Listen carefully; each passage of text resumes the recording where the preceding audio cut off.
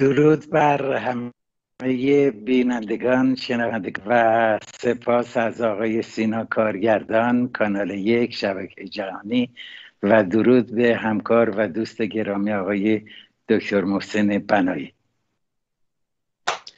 درود بر شما آقای امیر گرامی و با سپاس از دوستان و دستان در کاران شبکه جهانی کانال یک. خوشحالم که دوباره در خدمتتون هستم. با سپاس از شما و ما می‌خوایم که امروز درباره یکی از جنبه های زندگی در اسرائیل صحبت بکنیم و تکرار می‌کنیم که ما قصد تبلیغات نداریم بلکه ایرانی که فردا باید ساخته بشه ایران عزیز ما. ایرانی که شایسته همه نوع پیشرفت و ترقی هست در همه زمینه ها ایرانی که ملت انتظار داره که از رفاه نیکبختی و پیشرفت و تکنولوژی برخوردار بشه و با دوستان و همسایگان و کل ملت های جهان روابط دوستانه داشته باشه. این اطلاعاتی که ما میدیم اطلاعات ارزنده باشه و مثبت باشه و سازنده باشه. آقای بنای می‌گویند که اسرائیل یک پادگان نظامیه. شما هر کجا که در اسرائیل برید سرباز می‌بینید ارتشی می‌بینید تفنگ می‌بینید. تو خیابون ها تو هر نقطه ای که برید. نه فقط این. می‌گویند که نخست وزیر اسرائیل ارتشی بوده. وزیرش ارتشی بوده وزارت بهداشت دست ارتشی. به بیمارستان ها دست ارتشی هاست. نمی‌دونم هر چیزی رو تو اسرائیل نگاه بکنید توسط افرادی اداره میشه که سابقه ارتشی دارن. نه فقط این بلکه دختران اسرائیلی و زنان اسرائیلی هم ارتشی هستن. باید برن نظام و خدمت بکنن. در واقع در کمتر مراکز مدیریتی در اسرائیل می‌بینید که ارتشی وجود نداشته باشه. می‌خوام شما به عنوان پژوهشگری که دو بار از اسرائیل دیدن کردید و نه فقط این بلکه تحقیقات گسترده ای انجام دادید در این دیدارهاتون واقعا دیدید که اسرائیل یک پادگان نظامی است. ببینید برای اینکه به یه همچی پرسشی آدم فکر بکنه یعنی منی که در اسرائیل بودم و به عنوان توریست به اونجا مسافرت کردم. البته سفرهای من یه مقدار بیشتر از سفر توریستی بود. سفر پژوهشی هم بود. چیزهایی رو می‌خواستم از نزدیک ببینم. برای اینکه اساسا ذهن من درگیر یک همچین پرسشی بشه لازمش اینه که من در اونجا یک حضور نظامی گسترده رو ببینم و بعد از خودم بپرسم که چرا اینجا اینقدر آدم مسلح هست چقدر سرباز هست چقدر آدم هایی هستن که با لباس نظامی در اینجا رفت آمد می‌کنن.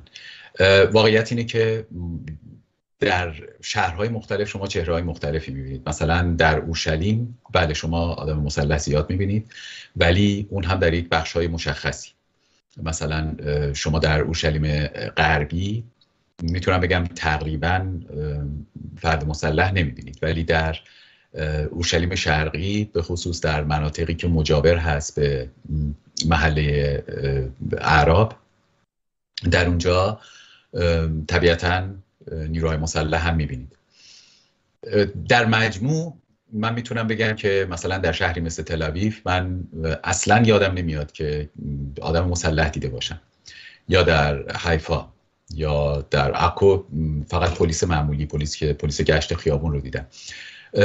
ولی یک نکته رو که شما الان مطرح کردین من همین الان به ذهنم می‌رسه و می‌تونه این البته اشتباه هم باشه ولی فقط به عنوان یک پاسخ به این پرسش. خب اسرائیل کشوری بود که در آغازش در آغاز تأسیسش در, در سال 1948 یک کشور کوچیکی بود با جمعیت بسیار بسیار اندک در مقایسه با همسایگانش و وقتی که چنین کشوری مورد حمله قرار گرفت اون هم از طرف ارتش های همه همسایه هاش یعنی همه کشورهای عربی که همسایه مرز با اسرائیل داشتند و, و حتی کشورهایی که مرز مستقیم با اسرائیل نداشتند به این کشور حمله کردند اصلا من وارد این نمیشم که کی حق داشت و کی حق نداشت. فقط مسئله تکنیکی و یک تجربه تاریخی رو می‌خوام بیان بکنم. خواه ناخواه این جمعیت کوچک باید همه در دفاع از خودشون مسلح می‌شدن. یعنی از همون آغاز کار 600 هزار نفر. 600 هزار نفر در برابر چند ده ها میلیون در واقع. بیش از صد فکر می‌کنم حتی به 600 هم نمی‌رسید چیزی حدود 580 و خورده جمعیت بله. اسرائیل در اون طبیعیه که در اونجا همه باید سرباز می بازم میگم اصلا اینجا بحث بر سر این نیستش که حق با اینها بود یا حق با همسایگان عربشون بود. تنها تن، تنها در اینجا ما باید بدونه یعنی اون پرسش های حق و ناحق رو اینکه یزید خوب بود یا امام حسین یا اینکه عمر خوب بود یا علی رو بذاریم کنار برسیم به این مسئله که به شکل کاربردی یک کشور کوچک با جمعیت اندک وقتی که از طرف کشورهایی با چند ده برابر جمعیت خودش مورد حمله قرار می‌گیره طبیعیه که هر کسی که توانایی حمله سلاح رو داره دست به اسلحه می‌بره و وارد ارتش میشه و سعی می‌کنه دفاع بکنه. بنابراین این یک سنتیه که واقعیتش اینه که من همین الان به شکلی که شما سوالتون رو مطرح کردین این به ذهنم رسید. شاید پاسخگوی این باشه که بله خیلی از دولت مردان اسرائیل و خیلی از کسانی که کارهایی رو در اسرائیل به انجام رسوندن سابقه نظامی داشتن. ولی این معنیش این نیستش که ارتش در واقع به نوعی سیاستمداران رو پرورش میده بلکه هر کسی هر شهروندی در اسرائیل بنابر ضرورت اون دموکراتیک دموگرافیک یعنی مردم شناسی آمار جمعیتی لازم بود که در ارتش خدمت بکنه. بنابراین هر کسی در اسرائیل یک سابقه ارتشی داره. و اینکه شما میگید خب کسانی میگن مثل پادگانه. اجازه بدین من یکی یه خاطره خودم رو از سفری که به اسرائیل داشتم برای شما بگم. در بله. آخرین روزی که من با همسرم در اسرائیل بودیم یک بعد از ظهری در کنار دریای مرده همون یم هملخ داشتیم قدم می‌زدیم و بله. همون دریای بحرالمیت یا دریای نمک. داشتیم قدم می‌زدیم و هم صحبت های معمولی می‌کردیم. بعد یک دفعه دیدیم که جت های جنگی از بله. بالای سر ما یه اسکاتران فکر کنم 6 تا جت جنگی بودن پرواز کردن به طرف جنوب با سرعت خیلی زیاد. و ما دیدیم که در مسیر دیدرس ما اینها دور زدن و برگشتن به طرف مسیرشون رفتن به طرف غرب. می‌تونم بپرسم آقای بنایی چه ساعت روز بود؟ فکر می‌کنم اگر اشتباه نکنم ساعت های اولیه بعد از ظهر. بله. ساعت اولیه بعد از ظهر. به خاطر اینکه این خط مرزی بین اسرائیل و اردن بله. با موافقت دولت اردن یک خط پرواز جنگنده های اسرائیلی که تقریبا هر روز و بله. گاهی هر شب مانور میدن و از این خط مرزی رد میشن نه ولی این موضوع دیگه ای بود. در ادامه بهش بله. این موضوع دیگه ما نگاه کردیم و بعد به شوخی به هم دیگه گفتیم که خب نکنه حالا جنگ بشه و ما این روز آخری که تو اسرائیل هستیم اینجا بمونیم و نتونیم پرواز کنیم و اینها. به حال به اینترنت نگاه کردم من هیچی ندیدم. اخبار رو تا جایی که می‌شد نگاه کردم چیزی ندیدم. بعد خب روز بعدش ما سوار ماشین شدیم از همون منطقه را افتادیم و رفتیم به طرف تلویف سر راهمون از برشبه رد شدیم. توی خیابونهاش رفتیم و رد شدیم و همه چیز عادی بود. یعنی ما هیچ چیز غیر عادی اونجا ندیدیم. تنها جایی که حتی ما از نزدیک استرات از اونجا که خیلی نزدیک به نوار غزه است رد شدیم. در خیابون ها در جاده ها در اتوبان ها هم هیچ چیز غیر عادی وجود نداشت. و تا اینکه ما رسیدیم به فرودگاه و در فرودگاه بود که دیدیم یک مقدار حضور انبوهتری از نیروهای نظامی هست و مخصوصا نیروهای ویژه پلیس. نیروی امنیتی در واقع. نیروهای امنیتی دقیقا و نه, نه سرباز. نه نه نه سرباز نبودن نیروهای ویژه پلیس بودن. که با لباس سرمه ای هستن و بعد به هر حال دیگه ما واقعیتش اینه که چون نمی‌خواستیم یک دردسری چیزی هم پیش بیاد اونجا اصلا پرسشی هم نکردیم. رفتیم توی سالن انتظار نشستیم و سوار هواپیما شدیم و برگشتیم. ما یک توقف داشتیم در مونیخ. یعنی از تلاویو مونیخ از مونیخ اومدیم به طرف کل. در مونیخ تازه ما فهمیدیم که شب قبل یعنی قبل همون موقعی که پرواز انجام شده بود قبل از اون همس از نوار غزه 60 تا موشک پرتاب کرده بود به سدروت و به طرف ورشه و به طرف اشکلون. یعنی می‌خوام اینو به شما بگم که حتی این فقط یک چیزی که من به چشم خودم دیدم. آیا همیشه همینطوره؟ من نمی‌تونم قضاوت بکنم. آیا این روش معمولیه؟ آیا هر بار که موشک برخورد پرتاب میشه همینجور برخورد میشه من هیچ قضاوتی راجش ندارم. فقط یک تجربه ای که یک بار خودم داشتم و می‌تونم بگم که با اینکه در موقع حضور ما اونجا موشک پرتاب شده بود ولی ما هیچ افزایش حضور نیروی نظامی مثلا در برشبه اصلا ندیدیم یا توی اتوبان ها ندیدیم. اصلا اصلا در و تازه توی مونیخ اصلا تازه توی مونیخ ما فهمیدیم که همچه اتفاقی افتاده اصلا شب قبلی بله. که ما بودیم این یک تجربه بود که من می‌تونم از این نظر بگم نه هیچ حضور غیرعادی نظامی وجود نداره ارتش بله در اورشلیم من می‌تونم بگم که به خصوص شما وقتی مثلا به طرف دیوار نطبه یا اون میدانی که به طرف دیوار نطبه میره شما چهار تا ورودی از اونجا دارین. یعنی یکیش از طرف دروازه هرودوت میاد یکی از طرف جنوب میاد یکی که همونی که میره به طرف کوه معبد و یکی هم از طرف در واقع دروازه شرقیه چهار تا پست بازرسی. اونجا پلیس مسلح هست شما رو میگردن.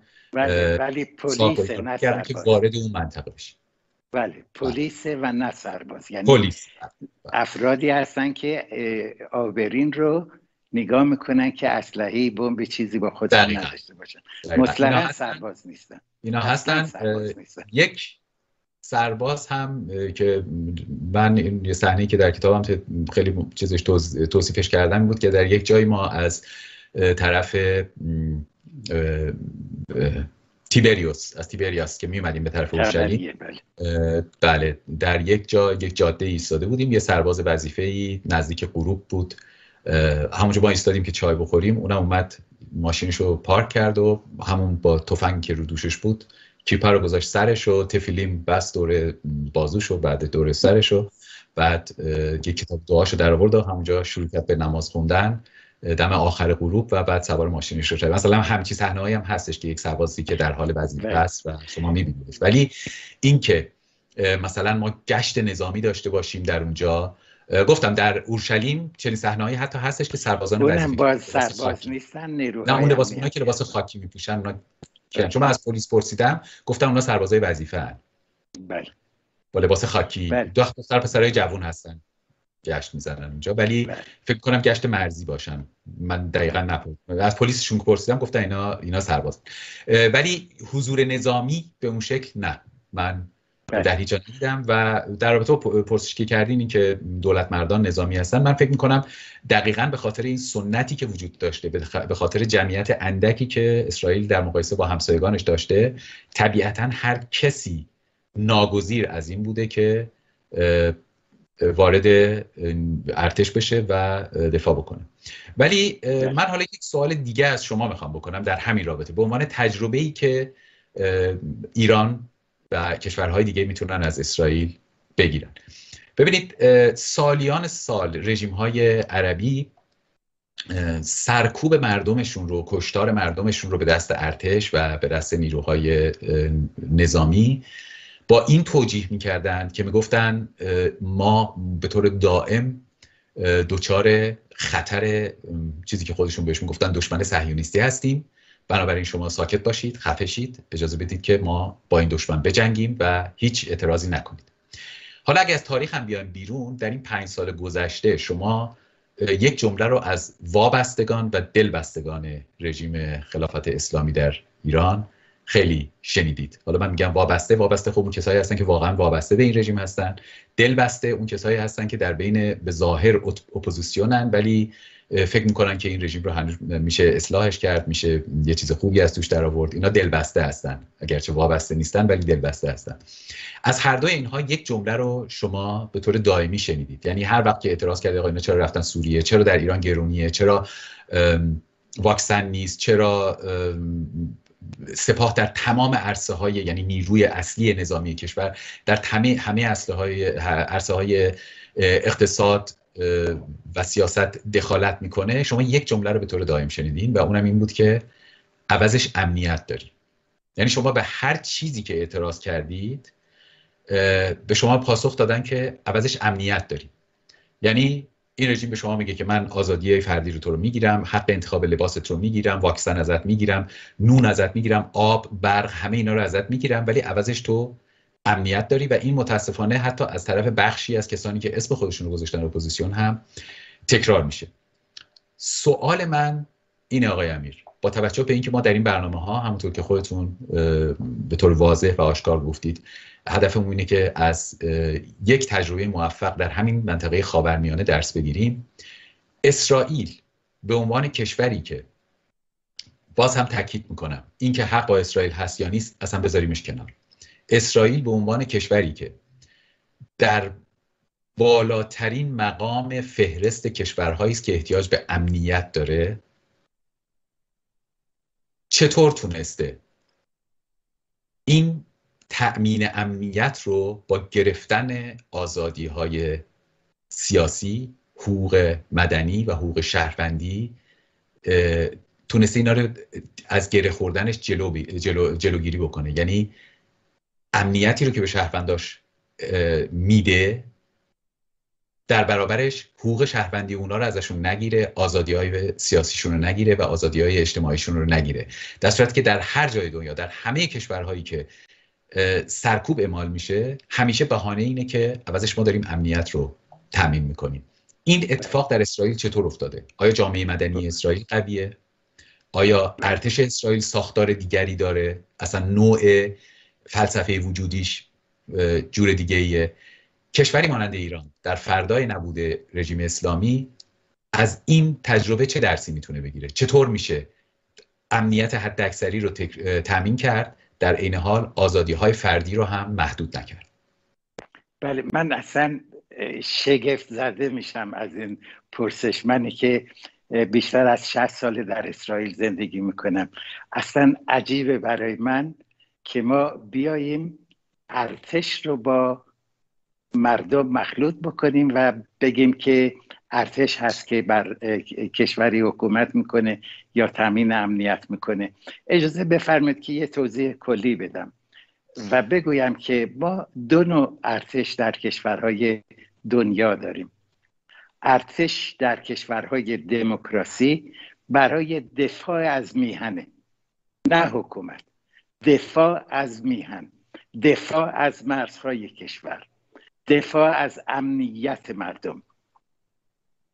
و این وظیفه اصلی یک ارتش در هر کشور دموکراسی هست. در کشورهای دیکتاتوری کاملا برعکسه. به خاطر اینکه مأموریتی که به ارتش داده میشه سرکوب کردن مردم معترض هست. مبادا یعنی حمایت از حکومت پشتیبانی از حکومت دفاع از رژیم و سرکوب مردم اون کشور.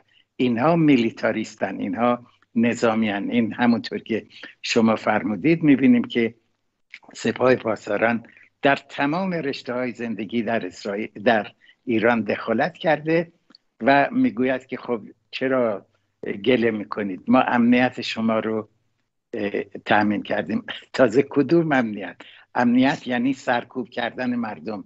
امنیت یعنی که تیراندازی می‌کنن به طرف مردم و غیره و غیره. آقای بنایی با قاطعیت میگم.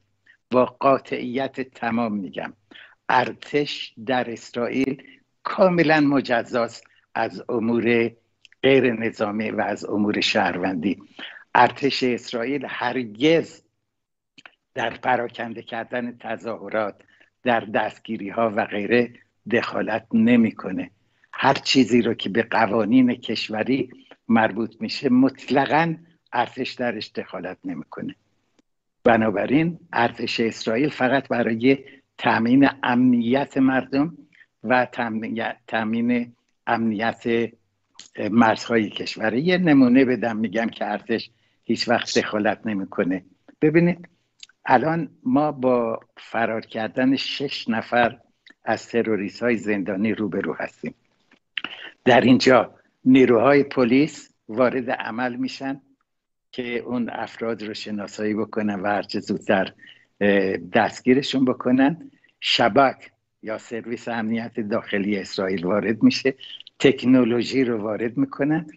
گارد مرزی اسرائیل رو وارد می‌کنن و در یه مرحله به ارتش هم میگن که بیایید و امکانات خودتون رو در اختیار ما بذاریم. نه برای سرکوب مردم بلکه برای تامین رفاهشون و برای اینکه بتونن اون شش نفر رو بازداشت بکنن.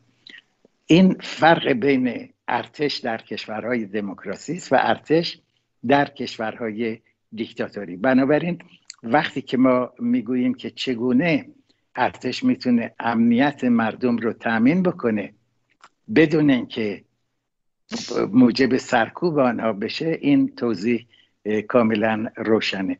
برمیگردم به مطالبی که شما فرمودید و خیلی اطلاع دهنده بود. می‌خوام یک کم گسترشش بدم. و اون این است که همونطور که گفتیم 600 هزار نفر جمعیت اسرائیل بود. حدود 120 میلیون نفر عرب بودن و هفت کشور عربی هفت کشوری که ارتش داشتن ارتش منظم داشتن در حالی که اسرائیل یک روز از اعلام استقلالش میگذشت و اون ارتش رو به اون مفهوم هنوز نداشت. بنابراین همه ملت اسرائیل ارتش بودن. همه بسیج شدن که از وطن خودشون دفاع بکنن. فرق سرباز اسرائیلی و سرباز یا سپاهی در حکومت ایران این است که سرباز اسرائیلی از وطن خودش دفاع می‌کنه و سپاهی و بسیجی در ایران از حکومت دفاع می‌کنه. این یکی. دومی که چون اسرائیل نمی‌خواست و نمی‌خواهد که ارتش بزرگی داشته باشه آمدن راه حلی پیدا کردن. گفتن که جوانان سه سال خدمت وظیفه می‌کنن بعد هر اسرائیلی که خدمت وظیفه کرده زن یا مرد زنان تا موقعی که ازدواج می‌کنن و بچه دار میشن. ولی مردان تا سن پنجاه سالگی بود الان کمترش کردن. اینها یک ماه در سال باید در اختیار ارتش باشن برن تعلیمات نظامی ببینن و همیشه آماده جنگ باشن. الان که کشورهای عرب دارن با اسرائیل صلح می‌کنن و اسرائیلی ها از آرامش و امنیت بیشتری برخوردار هستن این مدت رو کوتاهش کردن. این یه موضوع. موضوع دوم این است که هر نظامی اسرائیلی در سن 45 سالگی حد اکثر 50 سالگی بازنشسته میشه. از ارتش میاد بیرون لباس اونیفرم نظامی رو در میاره لباس غیر نظامی میپوشه. این وارد اقتصاد و فعالیت کشور اسرائیل میشه. بنابراین اگر نخست وزیر اسرائیل سابقه خدمت داشته یا همه دیگران اونهایی بودن که در دورانی که توانایی جسمانی داشتن از وطن خودشون دفاع کردن الان که بازنشسته شدن میرون اون تجربیاتی که در این باره باز با هم صحبت خواهیم کرد. تجربیاتی رو که در ارتش اندوختن برای بهبود کشور به کار می‌برند. بفرمایید. در این رابطه من چند تا سوال به ذهنم رسید که اگه ممکنه با جوابای کوتاه که بتونیم که من بتونم تعداد سوال بیشتری رو مطرح بکنم بله. اولین سوال اینه که آیا خب ما می‌دونیم چیزی نزدیک یه خورده بیشتر از 20 درصد جمعیت اسرائیل غیر یهودی هستن بله, بله. بله. آیا عرب های مسلمان اسرائیلی هم به خدمت وظیفه یعنی باید به خدمت وظیفه برن یا نه؟ بله این سوال خیلی خوبیه. ببینید اسرائیل جنگ که تمام شد 17 درصد از جمعیتش عرب بودن. یعنی همون هایی که در کشورهای عربی می‌خواستن اسرائیل رو نابود بکنن 17 درصد از جمعیت اسرائیل رو تشکیل می‌دادن. می‌تونستیم ادعا بکنیم بگیم این یک ستون پنجمه. ولی اسرائیل تلاش کرده از روز اول که تصاوی حقوق باشه بین عرب و یهودی. هیچ تمایزی نباشه. اولا نبود اینطوری. کم کم این به وجود اومد. تازه هنوز هم من راضی نیستم. هنوز هم تبعیضاتی علیه اعراب اسرائیل وجود داره که کم کم داره از بین میره. ما می‌بینیم که اعراب اسرائیل در تمام رشته های زندگی از بیمارستان و پرستاری و اینها گرفته تا خدمت در ارتش تدریس در دانشگاه در هر رشته ای اینها فعالیت دارن. بگیم که تصاوی حقوق صد درصد برقرار شده هنوز نه. ولی ما افتخار می‌کنیم به اون 21 درصد عربی که در کشورمون داریم.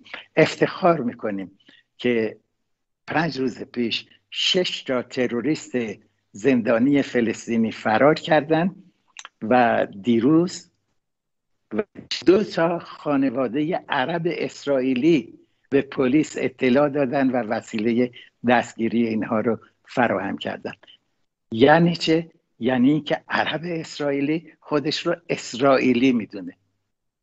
و در تامین امنیت کشور در رفاه مردم و در گرفتن تصاوی حقوق بسیار فعال و مبارزه می‌کنه. برمیگردم به پرسش شما.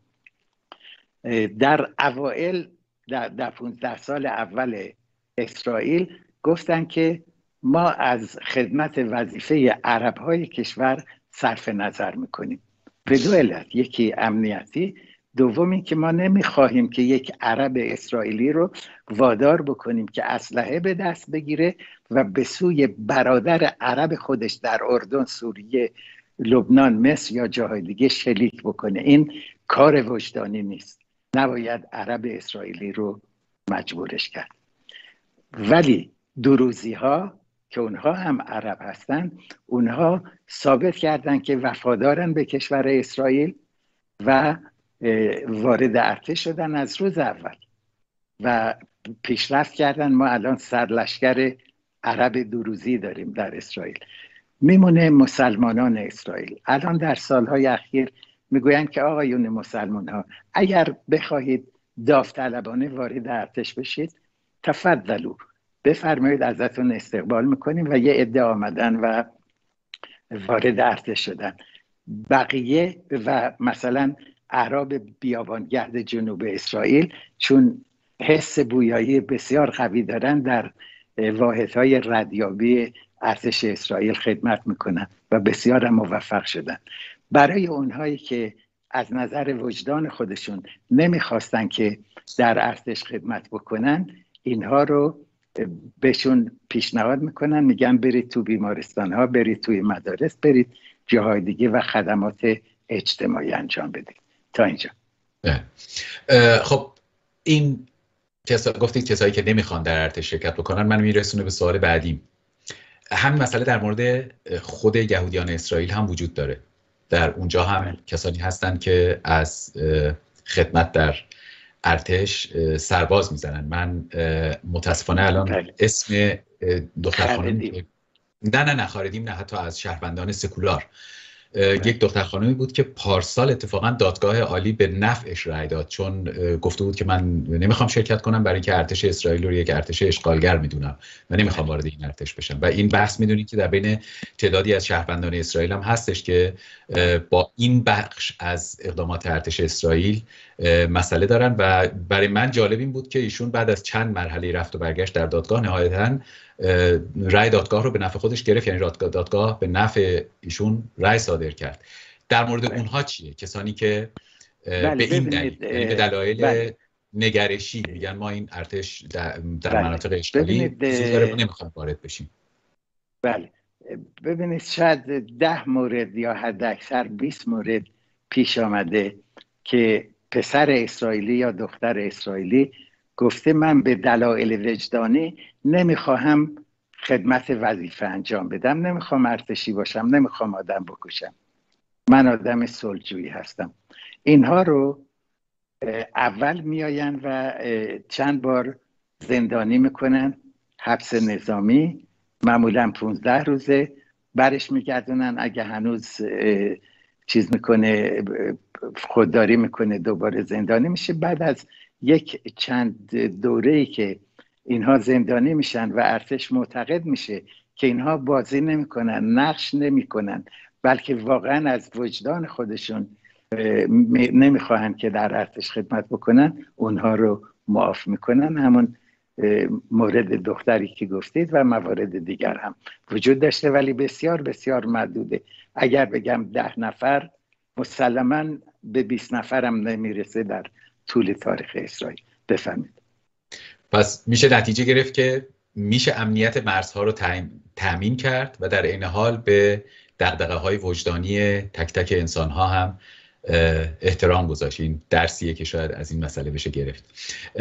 پرسش بعدی من اینه در درگیری های اول که بود؟ سال ماه می بود فکر می‌کنم. موشک پرانی های که ما گفت گفتگو هم با هم دیگه داشتیم. موشک پرانی های سه ماه پیش بود بله. ماه پیش بله. آیا در این درگیری هایی که در درون اسرائیل اتفاق افتاد ارتش دخالت کرد؟ منظورم در توی شهرهای اسرائیل که بین نه مطلقا نه. مطلقا نه. ببینید منظورتون اون تظاهراتی است که در برخی نقاط به, به درگیری هم کشید. بله بله, بله نه مطلقا نه. ببینید عرض کردم ما دو تا نیروی غیر نظامی داریم. یکی پلیس اسرائیل یکی گارد مرزی هست که لباس سبز میپوشند یعنی سبز زیتونی میپوشند. اینها غیر نظامی هن و اینها وظیفه تامین امنیت رو به عهده دارن و هیچ سربازی یعنی اونیفرم نظامی پوشیده در این کارها دخالت نکرد. ارز کردم معمولا به طور 98 درصد می‌تونم بگم که ارتش هرگز در عملیات شهروندی دخالت نمی‌کنه مگر مواردی که لازم باشه مثل همین شش نفری که فرار کردن و نیروهای امنیتی و انتظامی از توانایی های ارتش کمک گرفتن از پهپادهاشون اطلاعاتشون برای شناسایی و دستگیری این افراد. آیه بنای اجازه بدید یک هویت ارتش اسرائیل رو یا ویژگی هاش رو براتون بیان بکنم. و اون این است که وقتی که کشور اسرائیل استقلال دوبارش رو به دست آورد و موج مهاجرین به کشور آغاز شده بود افرادی که عبری صحبت نمی‌کردن با زندگی در اسرائیل آشنایی نداشتن و غیره و غیره ارتش اسرائیل وظیفه ای که برای خودش ایجاد کرد این بود که یک کوره اجتماعی بود که تمام این افراد از کشورهای مختلف میآیند در ارتش خدمت می‌کنن با هم آشنا میشن زبان عبری یاد می‌گیرن با راه و رسم اسرائیل آشنایی پیدا می‌کنن و غیره و غیره و بعد وارد جامعه میشن و ما یک جامعه یکسان به وجود میاریم. از میان همین سربازان هنگ ببخشید سپاه دانش در اسرائیل به وجود اومد. سپاه کشاورزی به وجود اومد. سپاه بهداشت به وجود اومد.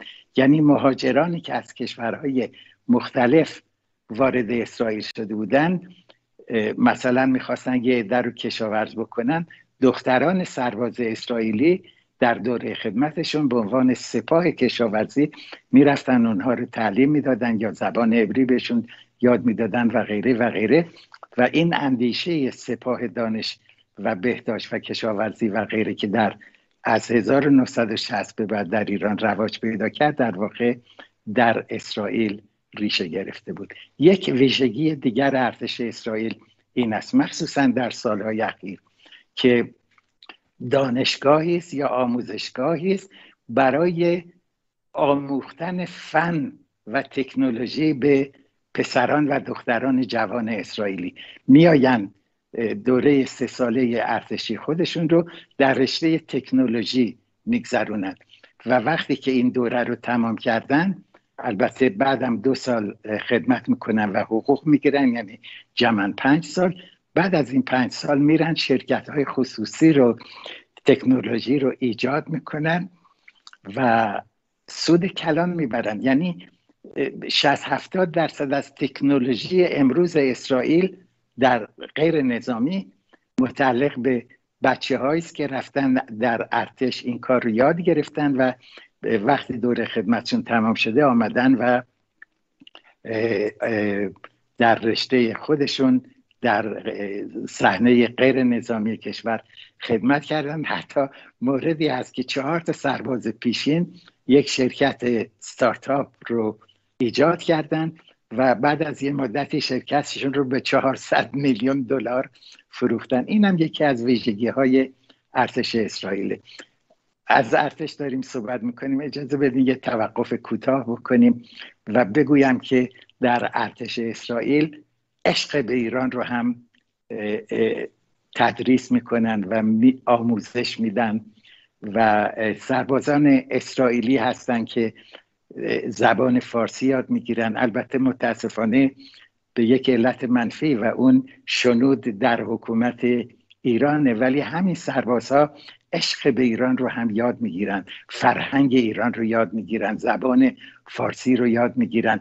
اجازه بدید از آقای سینا درخواست می‌کنیم که یک کلیپی رو پخش بکنن که نشون میده که سربازان اسرائیلی سربازان وظیفه چطوری یک آهنگ ایرانی رو بسیار زیبا اجرا می‌کنن. آقای سینا خواهش می‌کنم.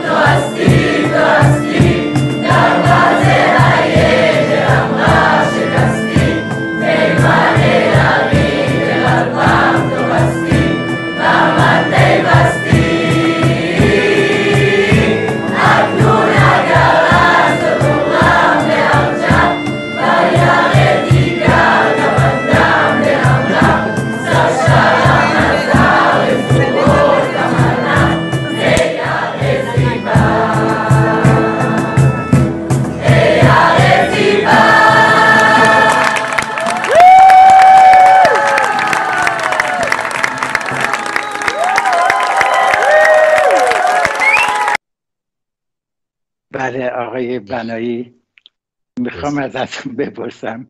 تو کدوم ارتش کدوم کشور دنیا شما می‌بینید که دختران و پسران سرباز میستن ترانه عاشقانه یک کشور دیگر رو اجرا می‌کنن؟ کدوم کشور؟ کشوری که رژیمش می‌گوید نابود باید گردد. بفرمایید. من یک چیز جالب من البته نه زبون عبری بلدم و نه لحجه هاشو می‌شناسم ولی همینجوری چون یه مقدار گوشم به این لحجه ها آشناست به نظرم رسید که اینا بیشتر لحجه اشکنازی داشتن یعنی به نظر نمی‌رسید داشتن ایرانی توشون باشن بله. کاملا درسته درست شنیدن درسته. بله کاملا درسته و یکی, یکی از شگفتی هاست که اینها برای اینکه شنود بکنن باید زبان فارسی یاد بگیرن. اینها میآیند و در شش ماه یه دوره شش ماهه زبان فارسی رو در حدی فرا می‌گیرن که بتونن شنود بکنن. من بیشتر از این توضیح نمیدم مبادا که اسرار نظامی رو فاش بله. بکنم. می‌خوام یک جنبه دیگر رو هم خدمتتون ارز بکنم. اینم خودش یک داستانه.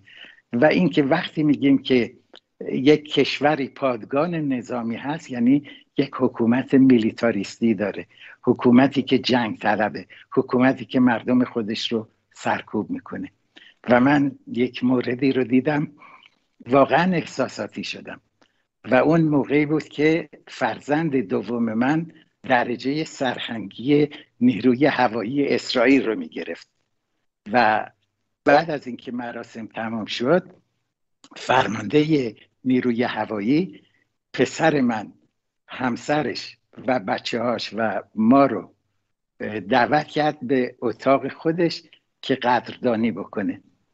و در اونجا دیدم فرمانده نیروی هوایی اسرائیل چطور بچه های چهار ساله و پنج ساله فرزند من رو بغل کرد نوازش کرد و بعدم بهشون جایزه داد. و من با دیدن این منظره در دلم گفتم فرمانده ای که اینقدر انسانه اینقدر انسان دوسته اینقدر کودک دوسته هرگز به دنبال جنگ نمیره.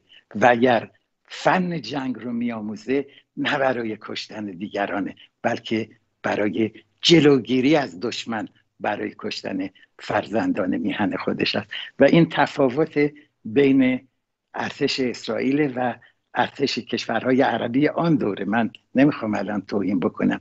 در جنگ یوم کیپور یا جنگ شش روزه هفتاد هزار سرباز مصری تسلیم ارتش اسرائیل شدن چرا؟ به خاطر اینکه این آگاهی رو نداشتن که آمدن از میهن خودشون دفاع بکنن. ولی سرباز اسرائیلی می‌دونه که از جان خودش از جان فرزندان خودش از جان همسر خودش خانواده خودش و خانه خودش و وطن خودش دفاع می‌کنه. این است که سرباز اسرائیلی در مرزهای کشور با دل و جان فعالیت می‌کنه و دفاع می‌کنه و در امور کشوری هیچ گونه دخالتی رو نداره. بفرمید یه سوال دیگه که به ذهن من می‌رسه در این رابطه اینه که خب تا اونجایی که من دنبال کردم و این موضوع مربوط به الان هم نیست از همون دهه 90 شد یعنی از شروع واقعیت در از شروع انتفاضه اول در خود جامعه اسرائیلی انتقادات زیادی به عملکرد ارتش اسرائیل می‌شد. مثلا شما اگه یادتون باشه اوری آونری یکی از بزرگترین منتقدان بود. اصلا جنبش پیس ناو و همین الان هم من وقتی که تعقیب می‌کنم در خود جامعه اسرائیل حتی اسرائیلی های خیلی میهندوست وطن پرست یا به گفته به شما سیونیست انتقاد می‌کنن به ارتش و به سیاستش در مناطق اشغالی در رابطه با سرزمین های اشغالی در رابطه با مردمان سرزمین های اشغالی. ارتش اسرائیل با این نوع انتقادات که بعضی جاها حتی دیگه هیچ حتی مرزی رو نمی‌شناسن یعنی من حتی خوندم شنیدم دیدم که نسبت جنایت جنگی به ارتش اسرائیل داده شدن. مثلا وارد این نمیشم که درسته یا غلطه ولی یک شهروند اسرائیلی و ارتش کشورش یه همچین نسبتی رو داد. برخورد ارتش اسرائیل و برخورد دستگاه قضایی اسرائیل با چنین انتقاداتی که بعضی وقتا خیلی هم شدید هستند چطوره؟ تا چند اندازه میشه به ارتش اسرائیل انتقاد کرد؟ بله. اولا من افتخار می‌کنم به یک دموکراسی که گروهی از شهروندانش انقدر وجدان حساسی دارن که حتی به ارتش خودشون انتقاد می‌کنن و حتی واژه جنایتکار بهش می‌داد. من افتخار می‌کنم. چون چنین چیزی رو شما در هیچ کشور عربی و مسلما در حکومت اسلامی ایران و جاهای دیگه نمی‌تونید ببینید. اینها رو اگر کسی همچین حرفی بزنه تیربارانش می‌کنن میگن تو خائن بودی به وطنت.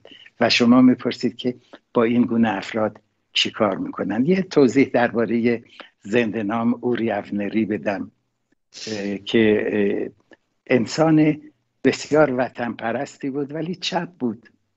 گرایش های بسیار شدید چپ داشت. و درک نمی کرد یا از دیدگاه بعضی ها در اسرائیل درک نمی کرد که سرباز اسرائیلی از وطنش دفاع می‌کنه وقتی در برابر فلسطینی میسته و چیز می‌کنه. البته ببینید در عملیات نظامی بی تردید همیشه اشتباهاتی رخ میده و افراد بیگناهی هم کشته میشن. از جمله در اسرائیل. این اشتباهات بوده. کاملا باید تایید کرد. حتی اشتباهاتی بوده که نیروهای خودی رو بمباران کردن. نیرو به سوی سرباز خود اسرائیل تیراندازی شده و باعث قتل شده. اینها پیش میاد و قابل جلوگیری نیست. در اسرائیل سازمانی به وجود آمد به اسم شوفریم شتیکا یعنی سکوت رو میشکنیم. چیکار می‌کردن اینها؟ می‌رفتن با سربازانی که در جنگ ها شرکت کرده بودن می نشستن و ساعتها گفتگو می‌کردن که در بیارن ببینن که در کدوم مورد رفتار سرباز اسرائیلی با موازین تعیین شده بین المللی تضاد داشته. و اینها رو علنی می‌کردن کتاب های مفصلی هم دربارش نوشتن. بله من افتخار می‌کنم که چنین افرادی هم در اسرائیل هستن که می‌خواهند که ارتش اسرائیل سرباز اسرائیلی تفنگ اسرائیلی منزه باشه پاک باشه و فقط برای دفاع از میهن به کار گرفته بشه. یه نمونه از ارتش آمریکا بدم بهتون که این اشتباهات پیش میاد. ببین همین سه چهار روز پیش بود که یک اتومبیلی رو ارتش آمریکا بمباران کرد گفتش که حامل خرابکاران و مواد مفجره بوده و معلوم شد که اشتباه کردن. این اشتباهات پیش میاد. ولی پرسیدید که چه کار می‌کنن و دولت ارتش و نهادهای حقوقی و قضایی اسرائیل چه رفتاری نسبت به این گونه افراد دارن باید قاطعانه بهتون بگم. در اسرائیل آزادی بیان وجود داره. هیچ کاری علیه اینها نمی‌کنن تا هنگامی که سخن اونها انتقاد اونها جنبه لفظی و عقیدتی داشته باشه. ولی اگر کسی بیاید و بگوید که ارتش اسرائیل جنایتکاره بره سازمانی رو درست بکنه که علیه ارتش سوء قصد بکنه اون موقع دیگه آزادی بیان نیست بلکه عمل خسمانه است و باید باش روبرو شد. خلاصه می‌کنم اونهایی که انتقاد کردن حتی یک نفر بازداشت نشده هیچ یک نفر رو تعقیب نکردن دستگیر نکردن شکنجه نکردن اعدام نکردن شهروندان آزاد اسرائیل و آمدن و دیدگاه های خودشون رو بیان کردن. و حتی از برخی حمایت های بین المللی هم برخوردار شدن و بعضی کشورهای اروپایی هم به اونها بودجه دادن که بیایند و این فعالیت های خودشون رو انجام بدن. شما می‌تونستید ادعا بکنید که از بیگانه پول گرفتن و عامل خارجی بودن و به این بهانه اینها رو محاکمه بکنید. ولی باز در چارچوب آزادی بیان در اسرائیل هیچ کاری کوچکترین گزندی به اینها رسانده نشد. تا اینجا.